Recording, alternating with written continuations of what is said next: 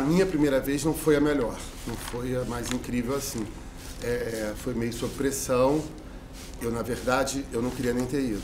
Eu não queria ter ido, mas os meus amigos todos, né, a maioria já tinha perdido a virgindade, já tinha feito alguma coisa. E eu sou de um tempo que as primeiras vezes, né, a primeira vez era sempre feita, sempre acontecia, né, geralmente com uma profissional, uma profissional, sempre um amigo mais velho, um irmão, eu não tinha irmão, mas são meus amigos mais velhos, mais descolados, me levaram para ter uma experiência. Eu sou do Rio de Janeiro uh, e existia, eu morava no bairro do Flamengo, existia um prédio em cima do cinema Paysandu, que foi um cinema que formou toda uma geração cultural no Rio de Janeiro.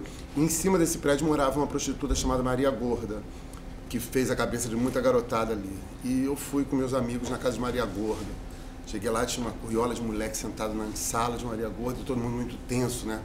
Eu e um outro amigo éramos os primeiros, era a nossa primeira vez, e a maioria já tinha ido, já tinha intimidade com Maria Gorda.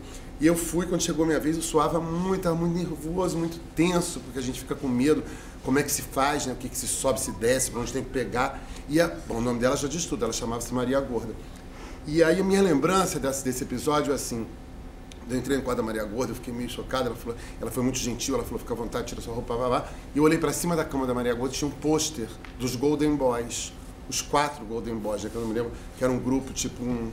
um, um na época eles eram o quê?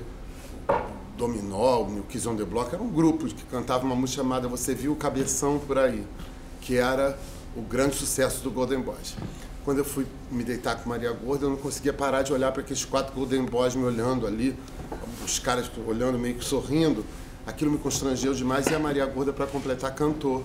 Você viu o cabeção por aí, enquanto eu estava tentando fazer o serviço. Uh, evidentemente que eu não conseguia, evoluí muito.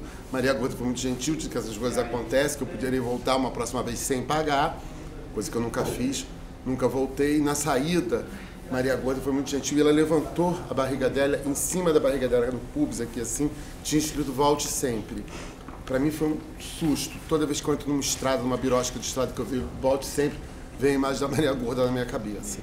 Essa foi a minha primeira vez. Mas é a primeira vez mesmo, minha, que eu acho que foi a primeira vez, foi alguns anos depois no Carnaval da Bahia.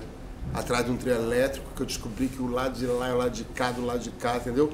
Correndo atrás do trio elétrico. E aí, essa eu considero a minha primeira vez e foi na Bahia. Aí não precisa nem contar mais, porque o que acontece na Bahia fica na Bahia.